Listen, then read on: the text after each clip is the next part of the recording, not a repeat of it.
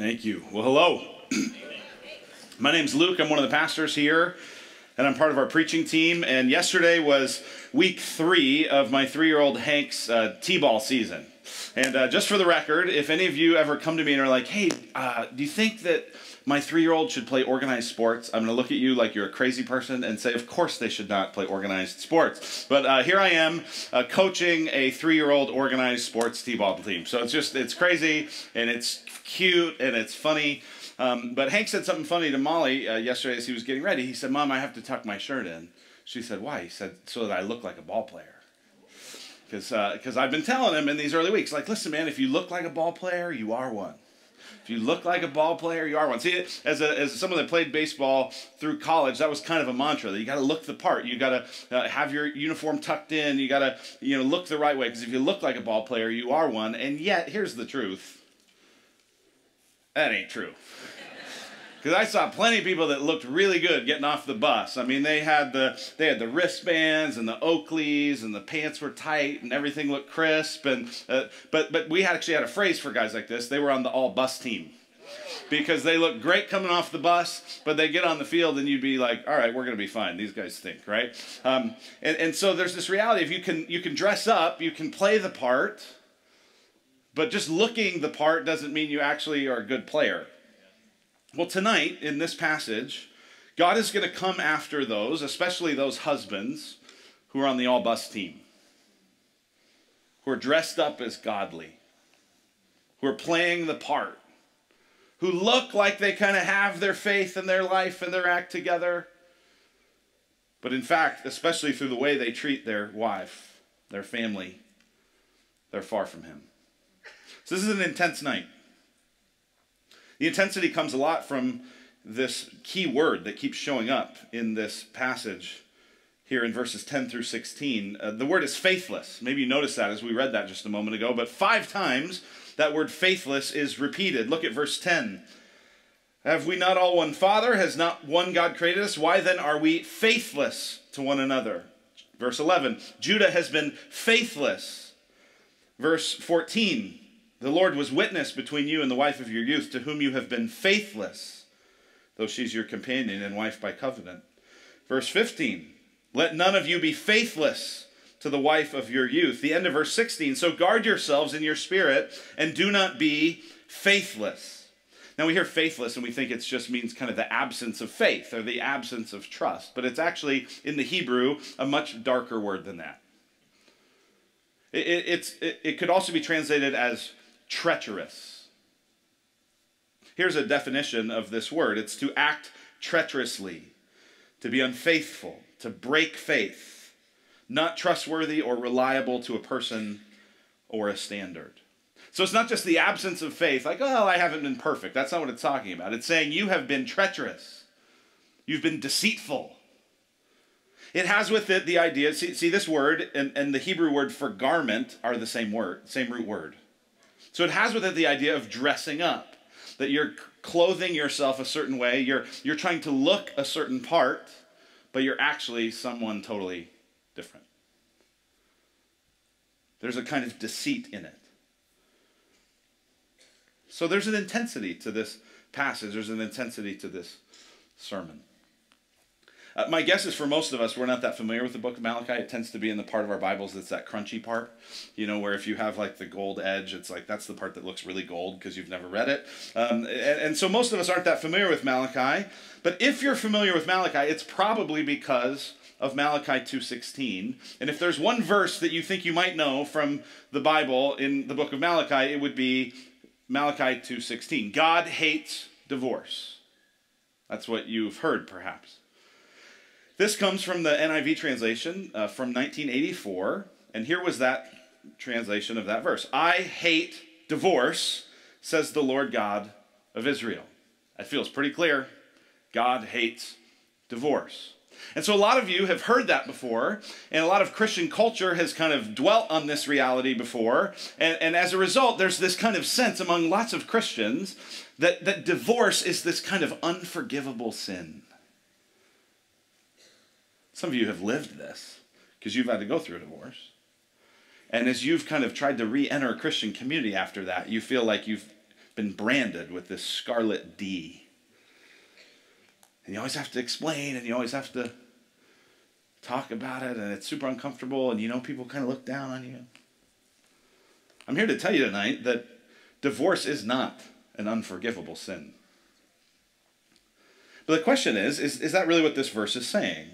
Malachi 2.16, I hate divorce, says the Lord God of Israel. Is Malachi 2.16 really saying that God hates divorce? Uh, this is a great name for a scholar, Gordon P. Hugenberger. Gordon P. Hugenberger, uh, he wrote the commentary notes for the ESV Study Bible for Malachi, and here's what he says. He says, The Hebrew text of this verse is one of the most difficult passages in the Old Testament to translate, with the result that the two main alternative translations proposed for this verse are strongly disputed. So here's a scholar, a, a, theologically conservative scholar, saying it's difficult not just to figure out what this verse means, but what it says. It's hard to translate it. Like the, the Hebrew and the English, it's clunky and it's difficult. And so even as you read English translations, you see, wow, there's there's some like debate about what this verse is really saying. Let me show you just four translations. These are all, I think, very good uh, translations. Just so you know, the way this works is groups of scholars who know the ancient uh, and original languages, who are familiar with the manuscript history, they all get together and they translate these things. And their desire is not to say new things, but to just let the original text say what it says, but in English. And when they get to this verse, look at how differently they do it. So the ESV, English Standard Version, that's what I'm preaching from. Here's, here's what it says. For the man who does not love his wife, but divorces her, says the Lord, the God of Israel, covers his garment with violence. And already you go, wait a minute, hold on. I thought in the in the last one, God said he hated divorce, and now it seems like it's not God who's it's being talked about, it's the husband, the man who does not love his wife but divorces her. The CSB, Christian Standard Bible, says a similar thing if he hates and divorces his wife, says the Lord God of Israel. He covers his garment with injustice. So again, it's not uh, God hating in this translation, it's, it's the husband hating and therefore divorcing. What about the New American Standard? This is also a really good translation. For I hate divorce, says the Lord, the God of Israel, and him who covers his garment with wrong. So here now it's saying that God hates two things God hates divorce and hates the person who covers his garment with wrong or who does violence. Then the NIV, the New International Version, they updated their translation in 2011. And here's what they did then The man who hates and divorces his wife, says the Lord, the God of Israel, does violence to the one he should protect. Now, I, know that some of you are like, see, that's why you can't trust the Bible. That's why it's just all these translations and it's all this big game of telephone. This is one verse that the scholar said this is the most difficult verse. It's not all like this. Here's, here's, so here's the question. Does Malachi 2.16 say that God hates divorce? Maybe. Maybe. Like, might. But, but what makes this difficult is that when it comes to every other thing that the Bible says God hates, he always hates it. So in Proverbs 6, there's a list of the things that God hates. It's a list of pride and deceit and hands that shed innocent blood and feet that run to evil. And God always hates those things. There's never a time like, well, pride's okay as long as it's in this context. No, he's always against that. He's always against oppression. He's always against deceit. But when it comes to divorce, if God hates divorce, why has he allowed in the Mosaic Law and in Jesus and the Apostle Paul, why is he allowed for these moments when divorce would be acceptable? The two things that are the clearest from Scripture are from Jesus.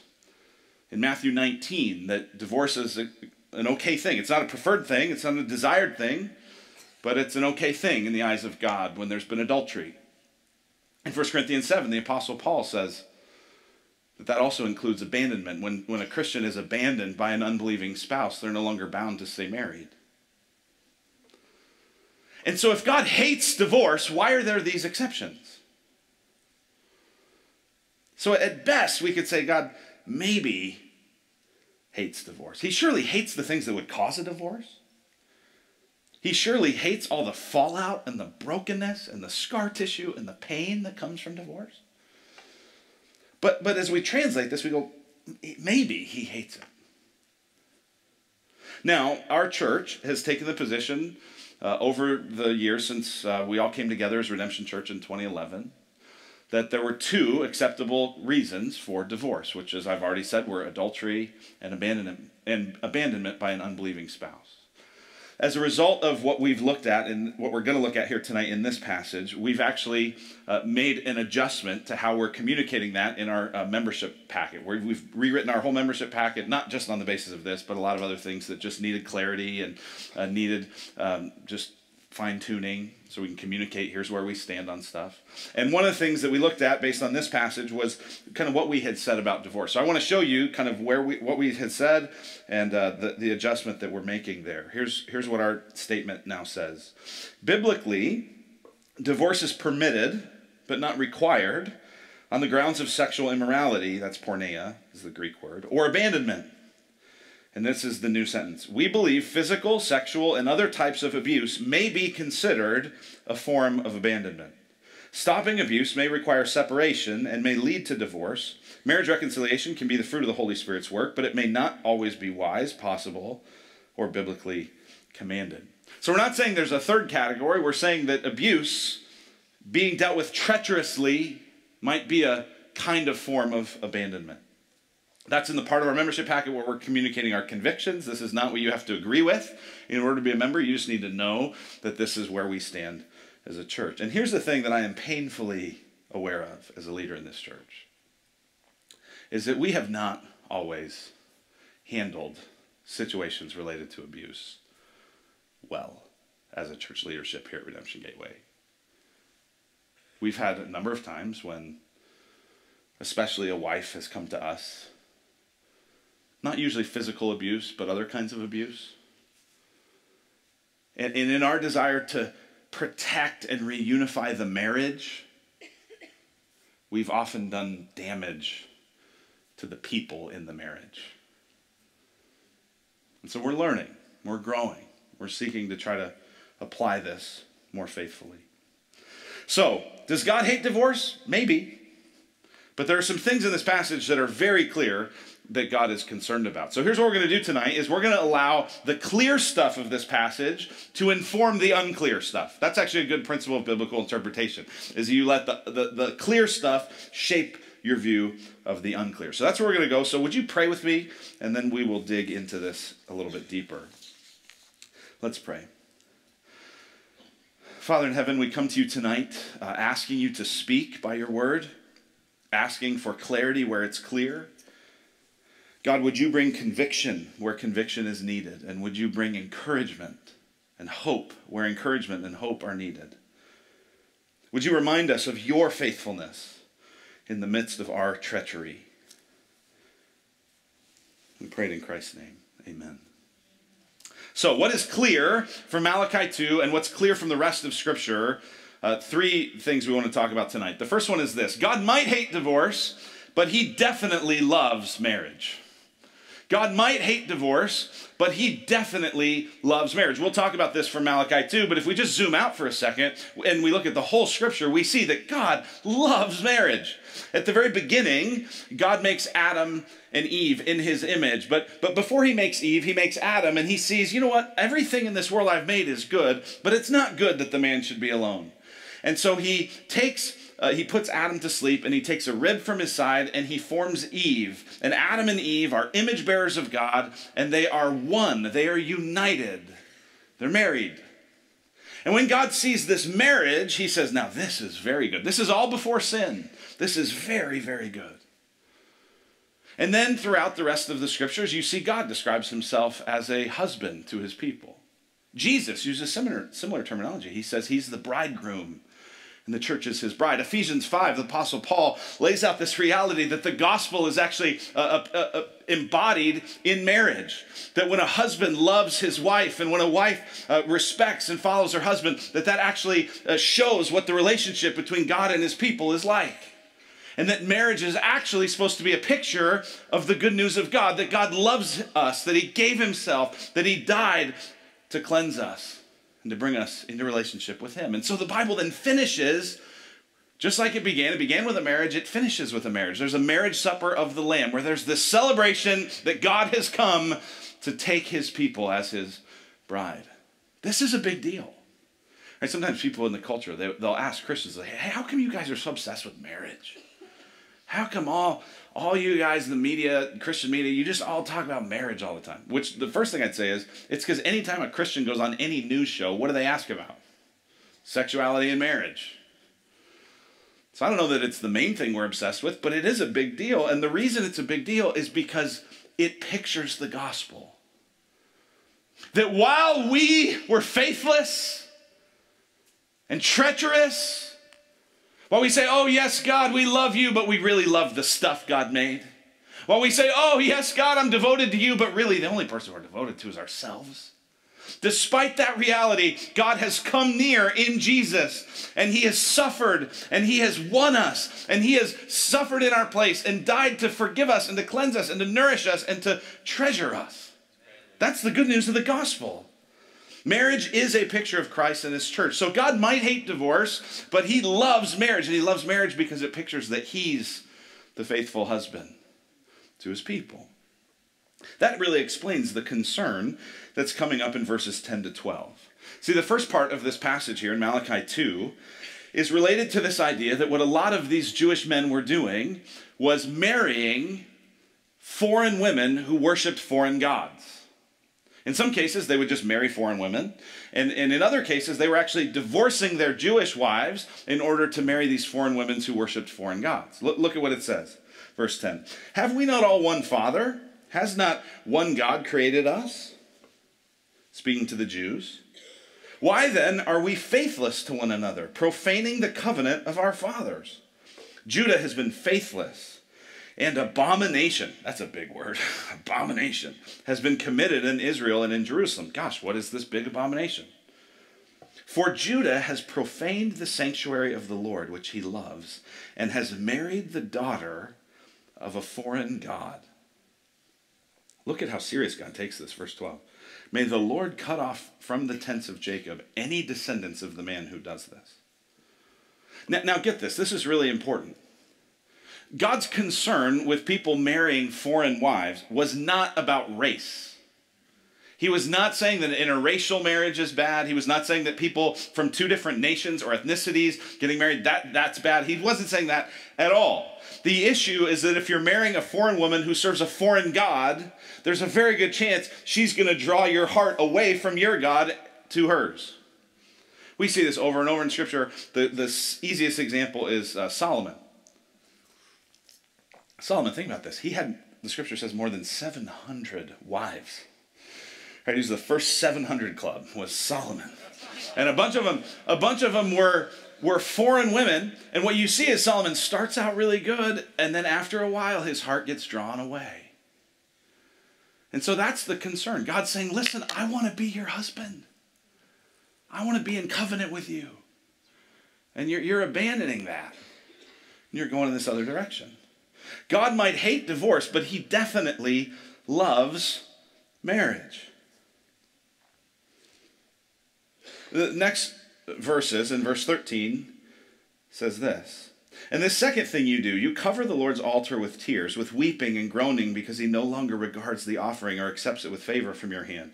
But you say, Why does he not? Because the Lord was witness between you and the wife of your youth, to whom you have been faithless, though she is your companion and your wife by covenant.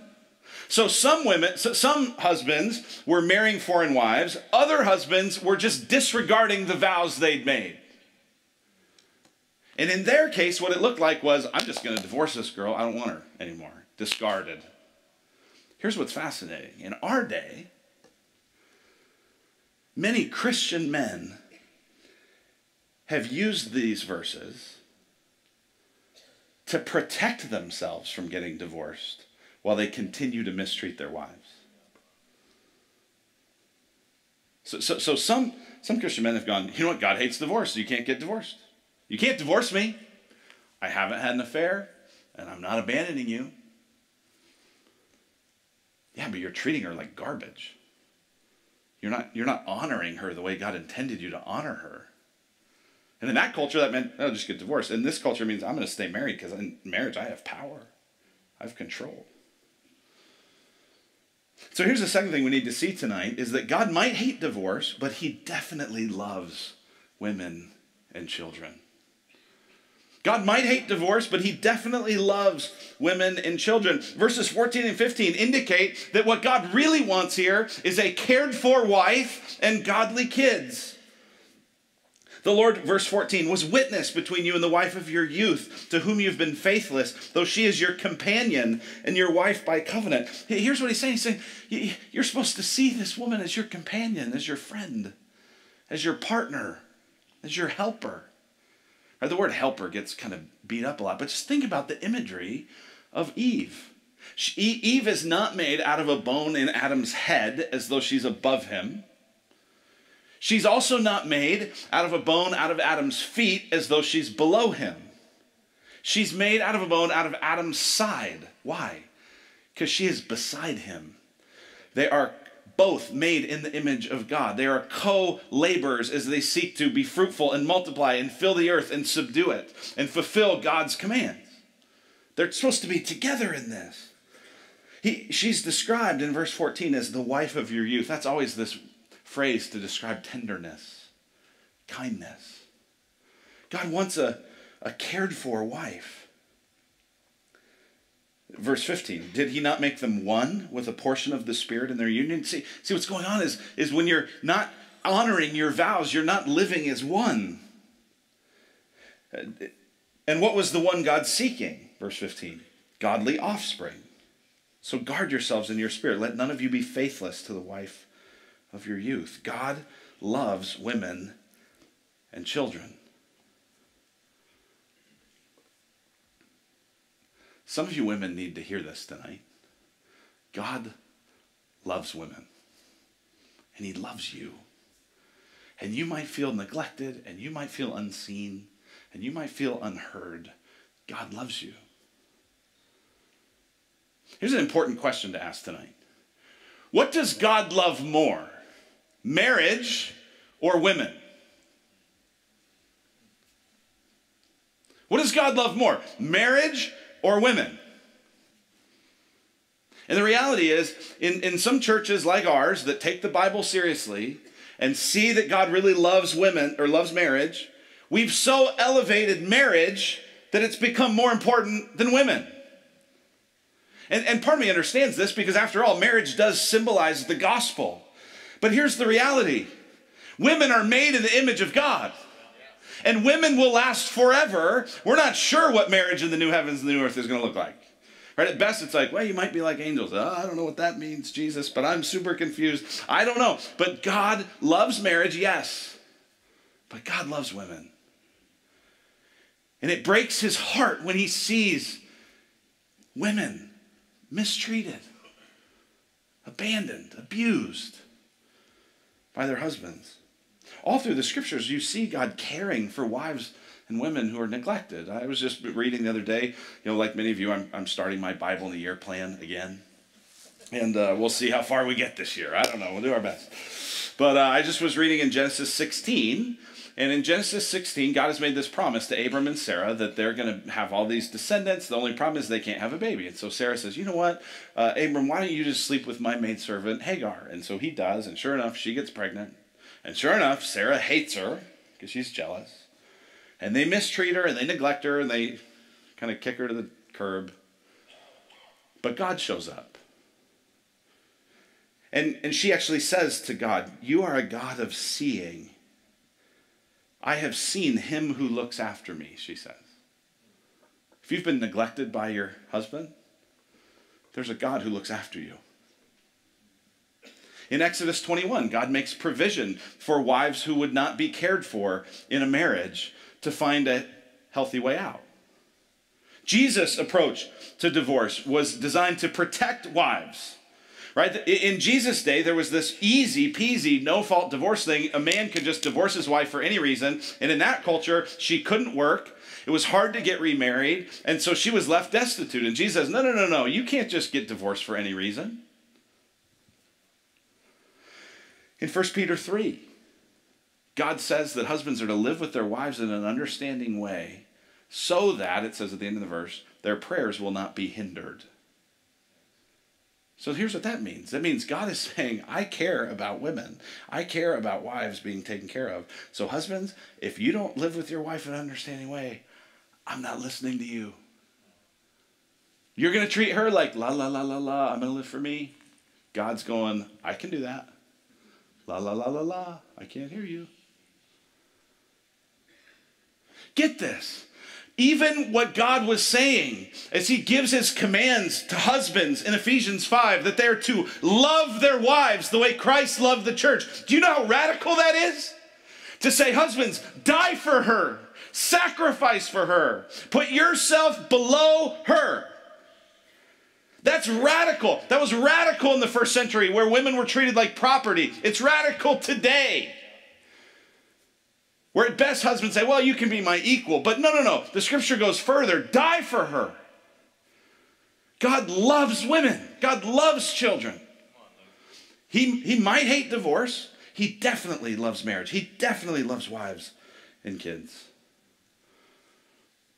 And because God loves marriage and because God loves wives and kids, here's the third thing we need to see tonight is that God might hate divorce, but he definitely hates hypocrisy and abuse. This is the nub of the issue. Look again at verse 13. And this second thing you do, you cover the Lord's altar with tears, with weeping and groaning, because he no longer regards the offering or accepts it with favor from your hand. But you say, Why does he not? Right here, here's the image you have. You have these husbands, again, who are dressing up. They're on the all bus team. That's what treachery is. It's deceitful. It's putting on this phony set of clothes and acting like something you're not. And these guys are going, Oh, we're worshiping you, pouring out tears on your altar. Oh God, we just want we just want what you want. And God's going, la la la, I can't hear you. They're going, why God? Why? Because the Lord was witness between you and the wife of your youth, to whom you have been faithless, treacherous, deceitful harmful.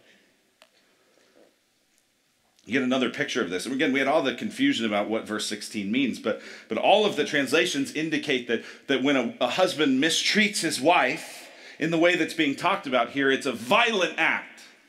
Look at verse 16. For the man who does not love his wife but divorces her, says the Lord, the God of Israel, covers his garment with violence, says the Lord of hosts does violence to the one he was called to protect, one of the other translations said.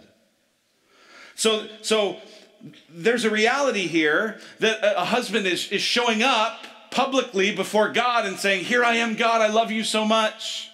But in his private actions, is harming her. Even that, that phrase, covers his garment with violence, communicates uh, this idea that in a lot of Middle Eastern weddings, there was this idea that as a husband and a wife got married, there would be a shawl uh, or there would be a covering, and they would cover, the husband would cover over himself and the bride, and they would come under this tent of protection. And this is a way of saying, instead of, you, you've acted like this is this godly, sacred moment but you're actually using the cover of worshiping me to hurt her. It's hypocrisy.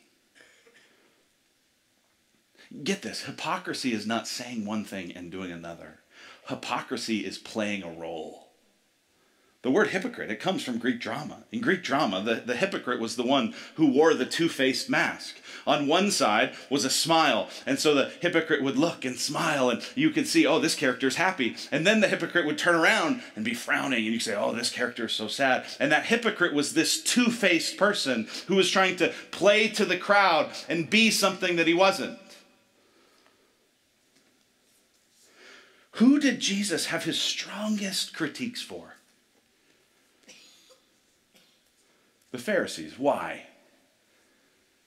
Because they were hypocrites. Now, listen, not all hypocrites are abusers, but all abusers are hypocrites. Because you have to. You got to play the role. You got to play the part. And get this I know abuse happens where, where a wife will abuse a husband. I know that happens. It doesn't happen as often. But the thrust of this passage is about husbands who are treacherous, destructive, violent with their wives, manipulatively hypocritical. So let me ask you, gentlemen, tonight are you a manipulative hypocrite?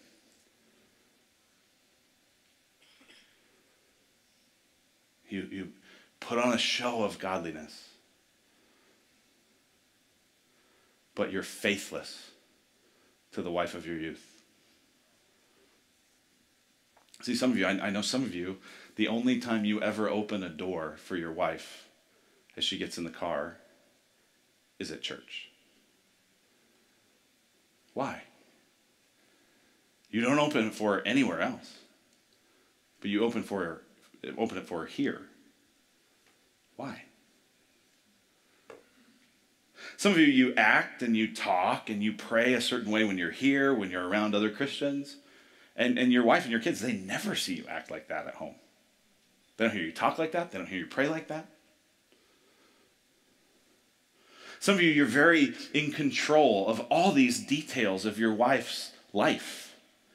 What she's allowed to wear, when you come to church, where you're allowed to sit. And it's not just because you have a preference of I don't want to be in the air conditioning. It's like, no, you, you want to sit in a certain place where you look godly.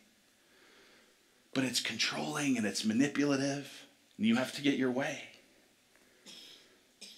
Some of you men serve regularly with smiles and with joy, while you unapologetically use porn at home, and everyone in your family knows it. Some of you men, you use pornography and you cultivate in yourself these perverted desires that you then manipulate and guilt and shame your wife into complying with. And they don't bring greater oneness, they actually bring greater separation and harm. And you abuse her and you hold the Bible over her saying, you have to honor your, our marital rights. when really you're just a pervert.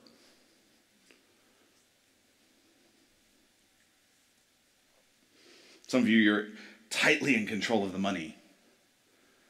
You won't let your wife get a job. You won't let her earn extra income. And you say, oh, you know what, it's just better, uh, you know, because, because we're following God. We think it'd be better for a wife to stay home and raise the kids and we'll just live on one income. And, and you kind of cloak it in this godliness. And the reality is, if she had any money, you know she'd leave. And you control the purse strings. Some of you, you insist a lot. You talk a lot about how she needs to submit to you. But you don't talk at all about how you need to love her sacrificially. You don't model that. You don't show that. You don't help her feel that. But you lord your leadership over her. The, the, the word for submit in Ephesians 5 is to come up under protection. It's that image of the, of the garment again. And instead of inviting her into your protection, you invite her into your harm. Some of you, you keep your friend, your, your wife very isolated. She doesn't have friends. She doesn't have relationships. She can't go hang out with people and you're around a lot of stuff and you're involved in a lot of stuff, people are like, man, you're so connected. How, where's your wife? And you kind of, well, yeah, you know, she, you give off the impression she's just not that committed to God. You just don't let her have friends. Some of you compliment her at church. Oh, my lovely bride. And then you call her names at home. And here's the thing this is all treacherous, it's deceitful. It's cunning. And so, so here's the deal you can fool people. You can, you can fool me. You can fool pastors. You can fool friends. But you can't fool God. He sees it. He sees every act of hypocrisy. He sees every act of deceit. He sees every act of treachery. He sees every moment of control and manipulation and abuse. He sees every bit of it. And because Jesus is so big and because Jesus is so great, there is hope for you if you'll repent. I got to tell you, for you to really change that way of absolute uh, abusing, domineering, controlling, that way of thinking, that way of living, that's going to take you months. That might take you years. You're going to have to work really, really hard to retrain yourself in lots of things with lots of help from other people, probably professional people.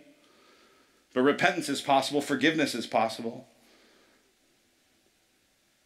But here's the thing you got to know tonight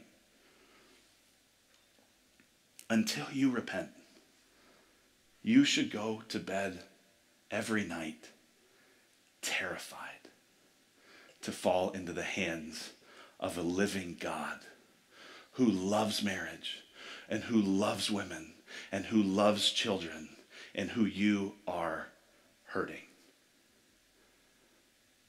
Let's pray.